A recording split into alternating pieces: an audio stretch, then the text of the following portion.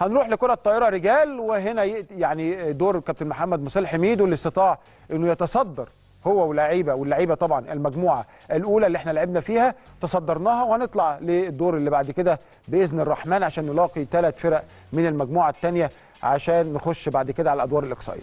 طيب فرقتنا فازت آخر مباراة على فريق إسكندرية البترول ودي المباراة وجاءت الأشواط ون- ونقلناها طبعا على شاشة قناة النادي الأهلي وجاءت الأشواط 25 16 25 17 25 17 فرقتنا طالعة ب 30 نقطة من 10 ماتشات فوز. مصر البترول بنها بتروجيت الترسانه اسكندرية. كل المباريات دي رايح جاي. فرقتنا هتلعب في الدور الثاني في المجموعة مع المجموعة الأولى آه، آه، آه، مع فرق آه، آه، الشرقيه الدخان وسموحة والزمالك. مباريات صعبة. المباراه بتاعت الزمالك هتكون المباراة في الأسبوع القادم بإذن الله. كاميرا الأبطال كانت موجودة في مباراة مصر البترول. خلينا نشوف اللعيبة اسكندرية البترول أنا آسف. خلينا نشوف الجهاز الفني واللاعبين قالوا إيه؟ وأرجع لحضراتكم تاني. ماتش النهارده إحنا بنلعب اسكندرية البترول. آه، ده يعتبر آخر ماتش في آه، مرحلة الدور التمهيدي للدوري. آه، اللي جاي عندنا المفروض إن آه، القوة بتاعت الماتشات هتبدأ تدريجيا تزيد. المر- المرحلة اللي جاية عندنا فيها هيبقى الزمالك وسموحة. آه، دي ماتشات تعتبر آه، قوية جدا بالنسبة لنا. آه، آه، دي اللي هتأهلنا إن إحنا نلعب من ال- ماتشات ال play off من الأول للثامن آه، المجموعة اللي جاية مجموعة مهمة جدا بالنسبة لنا. هيبقى فينا فيها معانا من المجموعة بتاعتنا بترسانه والبتروجيت ومن المجموعة الثانية هيجي لنا آه، سموحة والزمالك والشرقية للدخان. بصي هو system التمرين اللي إحنا بنتمرن عليه طبعا هو system واحد. يعني بنحاول نحافظ اللعيبة على كذا آه، سيس يعني كذا نظام ممكن نلعب بيه. آه، لكن تطبيقه بيختلف من ماتش من من, ماتش لماتش. يعني النهارده اسكندرية البترول أكيد قوتها مش تبقى زي قوة ماتش الزمالك زي قوة ماتش سموحة لكن system system التمرين اللي إحنا شغالين عليه بيبقى واحد. لكن التطبيق بيختلف من مباراة لمباراة. طبعا الحمد لله رب العالمين آخر آه، ماتش لينا في الدور التمهيدي. طبعا مستعدين الحمد لله بشكل كويس. كان عندنا تمرين الصبح النهارده وقبلها بيومين مرنا الصبح وليل. آه، يعني خدنا محاضرات على الفريق طبعا فريق محترم مع مدير فني ليه خبرة في الدوري الممتاز ولعبة محترمة استعدنا بشكل كويس خدنا محاضراتنا وجهزنا للماتش والحمد لله رب العالمين.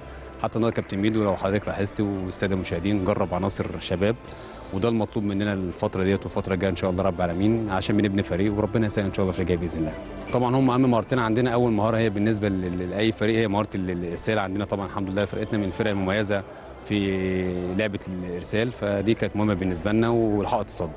فالحمد لله رب العالمين يعني نفذنا النهارده الإرسال بشكل كويس حصل بعض الأخطاء بس بنتمرن عليها إن شاء الله رب العالمين. هنشوف برضو غلطاتنا إن شاء الله رب العالمين في الفيديو النهارده أو بكرة إن شاء الله بإذن الله ونصحح أخطائنا إن شاء الله الفترة الجاية بإذن الله.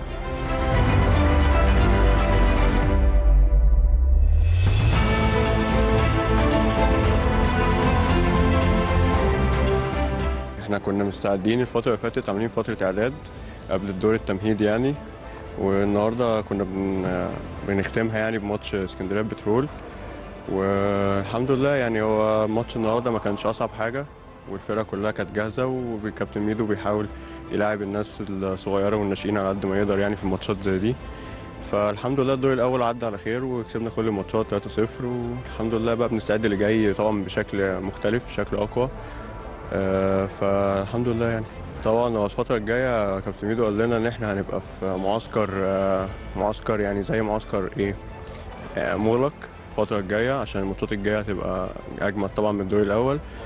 فدي هنستعد لها بشكل تاني ويوم الخميس إن شاء الله هننزل التمرين صبح وليل وجاي إن شاء الله أحسن وهدفنا إن إحنا نكسب الماتشات الجاية إن شاء الله كلها و... على نفس ال...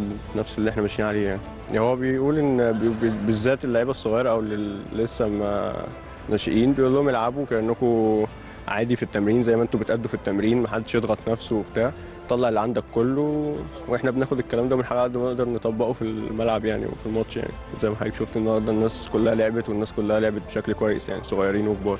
فالحمد لله. هو طبعا آه، قبل المباراة كان في محاضرة كابتن ميدو كان آه، مفهمنا على كل حاجة ومجهزنا يعني. كنا لعبنا الفرقة دي في اسكندرية قبلها آه، فمذاكرينها وحافظين بقى زواياهم وحافظين كل حاجة يعني.